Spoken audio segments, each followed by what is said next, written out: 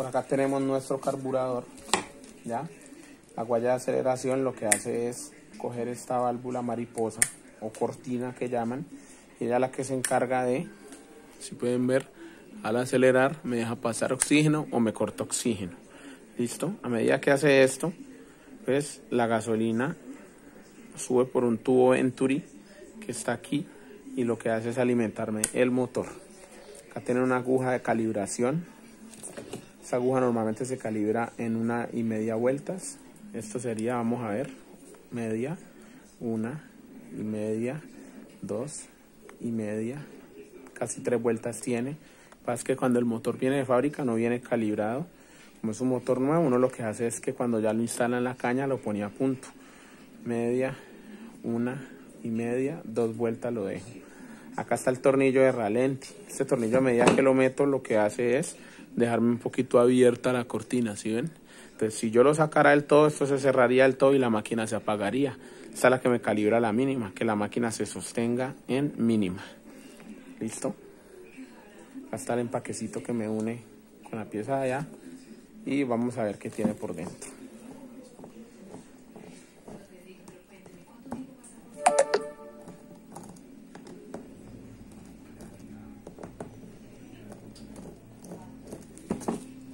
Retirar estos cuatro tornillos.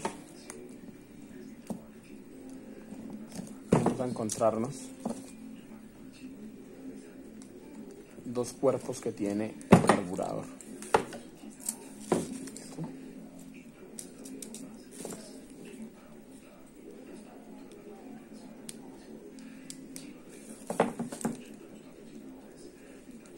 Esta base que está aquí, la base del cebador, la pueden ver, tiene una valvulita de adentro que lo que hace es que me deja que pase el combustible en una sola posición, me deja mandar aire hacia allá, más no que se me devuelva, por eso cuando él se devuelve lo que hace es ya succionar gasolina. Ese es el cebado que en otro video yo ya había explicado, que junto al choque, que es cerrar esta palanca, es lo que hacemos cuando vamos a prender el motor inicialmente para que la mezcla con que prenda el motor esté muy rica, o sea, esté llena de gasolina y sea más fácil de que prenda. Una vez prende, pues este choque se abre y ya no hay necesidad de estar bombeando la pera cebadora.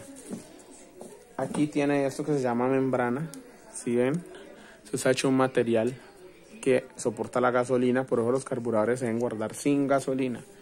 Y esto me funciona como unas valvulitas, esas dos aleticas contra estos orificios lo que me hacen es dejar pasar gasolina en determinado momento porque como el pistón está por este huequito de acá en realidad está haciendo un movimiento recíproco de succionar y soplar, succionar y soplar. Entonces estas valvulitas se encargan de volverme ese movimiento de sople y chupe, sople y chupe en un solo movimiento de succión para que el carburador se comporte como una bombita. Y acá arriba con esta que es la membrana, si la ven? Eso tiene como una tetica ahí. Es el actuador.